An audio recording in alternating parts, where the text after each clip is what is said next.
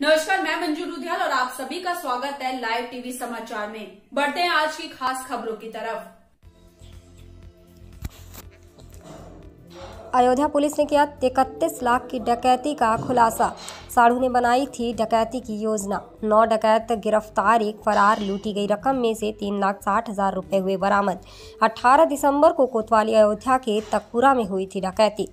पीड़ित ने अपनी बेटी की शादी के लिए भेजी थी ज़मीन। आठ डकैत मुरादाबाद के और साड़ू बस्ती का रहने वाला साढ़ू शाली शालिग्राम वर्मा ने रची थी डकैती की घटना। साड़ू की पीड़ित की लड़की की तय करवाया था शादी।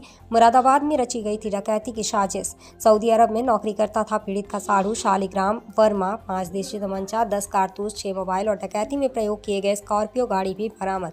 पत्रकारों को जानकारी देते हुए वरिष्ठ पुलिस अधीक्षक शैलेश पांडे ने मामले की पुष्टि की।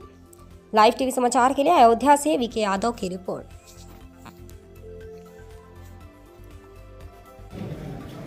18 दिसंबर की रात में थाना दर्शन नगर क्षेत्र में एक व्यक्ति के यहाँ रात में अपराधी घुसते हैं और उसके यहाँ डकैती की घटना कारित करते हैं। वादी द्वारा जो तहरीर दी गई थी, उसमें पाँच से छः लाख रुपए नकद और आभूषण लूटे जाने की बात बताई गई थी।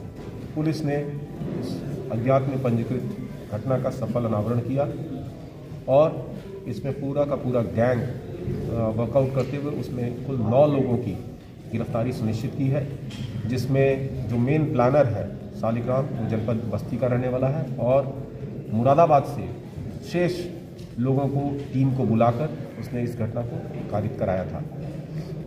बैकग्राउंड में ये रही इसकी बात कि वादी ने अपनी ज़मीन बेची थी और ज़मीन को बेचने के बाद जो कैश था वो घर में था, इसकी जानकारी सालिक के पास थी। उसने अपने साथ पूर्व में काम किए हुए गनी जो कि मुरादाबाद का रहने वाला और सऊदी अरबिया में ये लोग साथ में टाइल्स लगाने का आ, काम करते थे। उनसे ये पूर्व में संपर्क में था। उसके कई मित्र थे जिनका आपराधिक इतिहास था जिनसे वो संपर्क में था जब इस चीज़ की चर्चा इन दोनों ने आपस में की और इस घटना को कारित करने की पूरी योजना बनाई।